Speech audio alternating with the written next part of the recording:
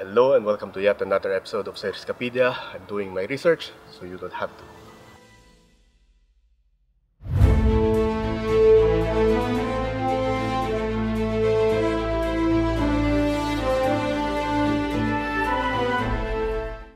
In this episode, we're going to talk about one of my favorite Echeveria species, and that's Colorata. As you can see, I've got three plants in front of me. These are the three base forms. Right here in the middle, this is the Echeveria colorata forma colorata. You'll probably encounter another colorata named the Lindsayana, Echeveria colorata lindsayana. And as far as classification is concerned, the Lindsayana and the forma colorata is virtually the same thing. And over at this side, this is the Echeveria colorata forma brandtii. And finally, on this side, this is the Echeveria colorata Mexican giant. If you look at them side by side, I made sure to pick three specimens that are of the same size, more or less. I've got other specimens out here which are a bit larger, but to make comparison interesting, it's best if they are the same size. If you have them side by side like this, you could easily see the differences, but let me just give you a few pointers. The easiest to pick out from the bunch is the Mexican giant. You could tell it from the white farina that it has all over the leaves. Another distinguishing feature of the Mexican giant is if by the name itself you could tell that this can grow quite large.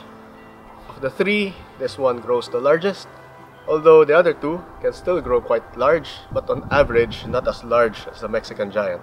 Now over at this side, the Brandtii has long, slender, narrow leaves compared to the other forms, and it's easy to spot if you have them side by side. Otherwise, if you don't, you might be confused between the Forma brandtii and the Forma colorata or the Lindsayana.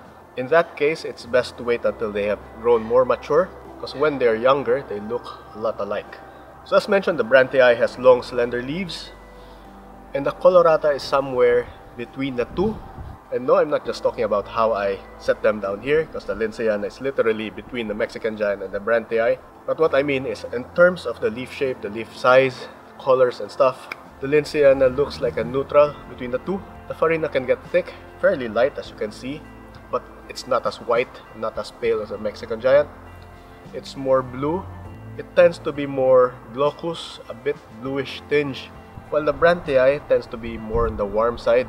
Although under certain conditions, this too can have the same color, so it's more a matter of checking out the leaf shape, leaf size, and leaf length, the proportions of the leaves. Let me show you some of my other specimens. This right here is one of my older Lindsayanas. As you can see, the leaves are not slender and would be closer to this one, the Lindsayana. I've got the larger Mexican giant over there and you can clearly see the differences in the colors of the farina. Here's another Brandtii, it's all closed up because it has been super stressed over winter. But you can clearly see from the leaf shape that it has long slender leaves, long narrow leaves compared to the others. Let's have a look at the other specimens. This is the largest Mexican giant in my collection. It looks tiny relative to the bowl because that bowl is huge. Probably around 35 to 40 centimeters inner diameter. Here's one of my younger Mexican giants planted directly on the ground. Here's another Mexican giant I grew from a tiny pup. It's in a more exposed spot, the Patreon shrine, which explains the farina. This is an Echeveria colorata forma brandtii. It's significantly more stressed than my other specimen and this is residual stress from winter. I might have to transfer it somewhere else.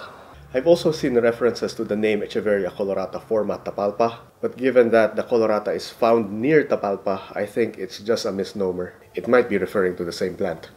And that's it for this colorata comparison episode. My name is Chuck. I'm doing my research, so you don't have to.